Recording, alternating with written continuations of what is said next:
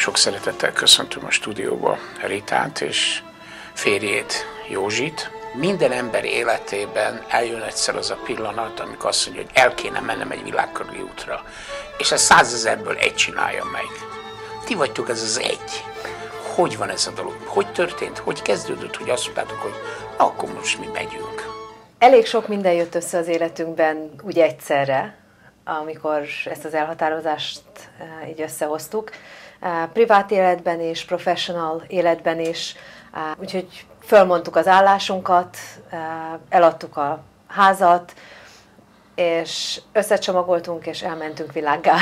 Tehát gyakorlatilag két hátizsák elindul. Igen, lényegében két hátizsák elindul.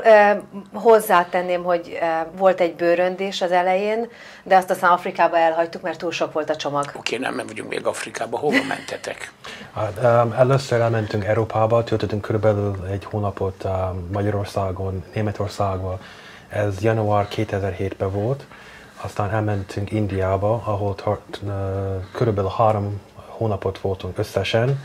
Uh, abból három hét volt Rajasthan, úgy um, Delhi, Agra, uh, Jaipur, és aztán um, nagyjából lementünk uh, kettes Beritával Goába. És innen hova mentetek? Innen elröpültünk uh, Isztambulba, uh-huh. és uh, onnan kezdtünk egy Isztambultól Fokvárosig Transafrika utat, ami azt jelentette, hogy Isztambulból indulva... Milyen állomások vannak itt? E, elindultunk Isztambultól, és Törökországon keresztül e, lementünk Szíriába, e, Szíriából Jordániába, Jordániából átmentünk Libanonba, aztán vissza, utána le Egyiptomba, Egyiptomba eltöltöttünk öt hetet, onnan mentünk Szudán. Szudánba, Szudánból eh, Etiópiába, onnan Kenya, Uganda, Ruanda, Tanzania, Malawi, Zambia, Zimbabwe, Botswana, Namibia, Dél-Afrikai Köztársaság. Úristen, Ott... még el, elsorolni is sok. Igen.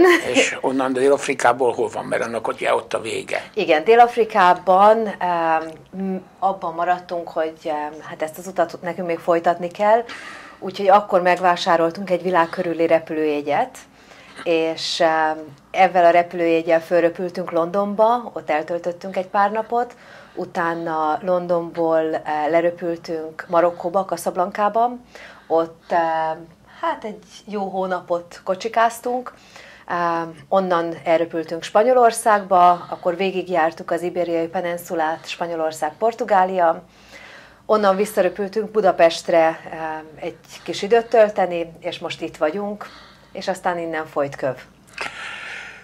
Uh, még a folytköv előtt mit hoztatok nekünk?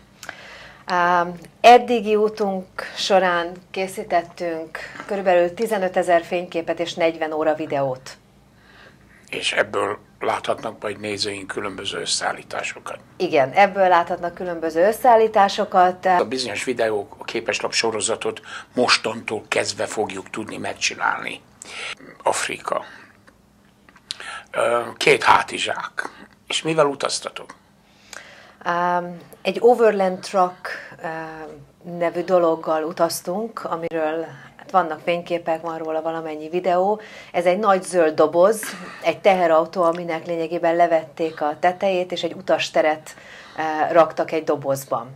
Volt például air Nem.